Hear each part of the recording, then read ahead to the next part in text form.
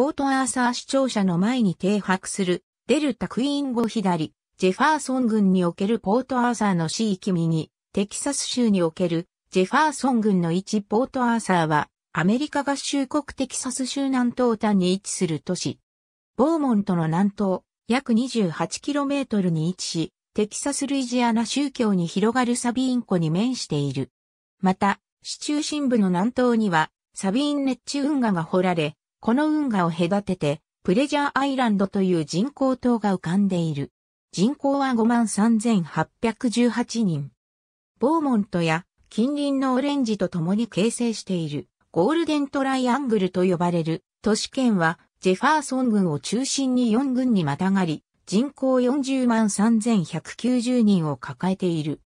ポートアーサーは北緯29度53分6秒整形93度56分24秒、北緯29.88500度整形93.94000度、29.88500-93.94000に位置し、地域面積は214.8キロ平方メートルである。気候はメキシコ湾の暖流の影響を受けている亜熱帯性で、欠片の気候区分では温暖湿潤気候に属する。テキサス州内では最も降水量の多い地域であり、夏は非常に蒸し暑く、ハリケーンにも見舞われやすい。2005年9月には、ハリケーンリタが、シナンタンのサビーン、パス地区に上陸した。テーラーバイユーが、サビーン湖に注ぐ。この地には、1837年にはすでに、オーロラという名の町が形成されていた。1840年頃には、アルマンゾン・ハストンらによって、オーロラの土地が宣伝されたが、プロジェクトは失敗に終わった。やがて、ジョン・スパークスが家族と共にこの地に移り住んでくると、この地は、スパークスという名で知られるようになった。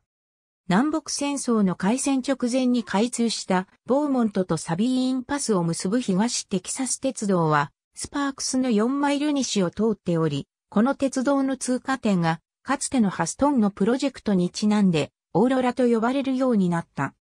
南北戦争中に鉄道が撤去されると、このオーロラも次第に錆びれていき、残った住民も1886年にハリケーンの襲来を受けて、ボーモントへ移住した。1895年頃には、このオーロラはゴーストタウンになっていた。その後、カンザスシティサザン鉄道を建設したアーサー・エドワード・スティルウェルはこの地に新しい町を作り、自らの名を冠して、ポートアーサーと名付けた。